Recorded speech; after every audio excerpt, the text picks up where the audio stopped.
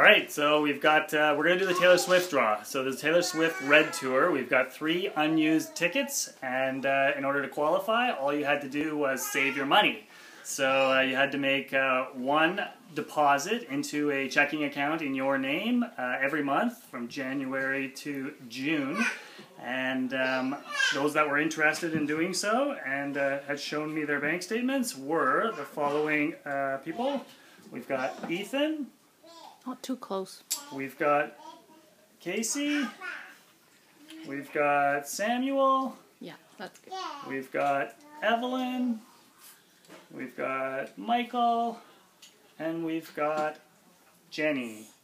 All right, so we've only got three tickets, but we got six qualifiers, so we're going to get our lovely assistant, Michaela, to be able to uh, pick the winners. So we're going to take the uh, we're going to take the uh, people, put them down here in no particular order, and I'm going to grab the camera.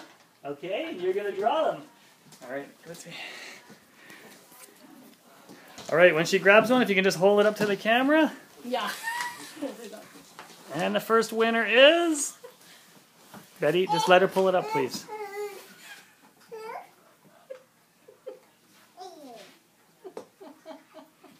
First winner. Okay, can you just show me? Evelyn. All right. Next one. Who's that? That's the one. Michael. Grab it. Oh, E.T. E.T. Ethan. I saw it.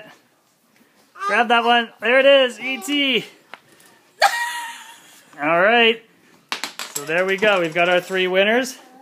Evelyn, Ethan, and Michael.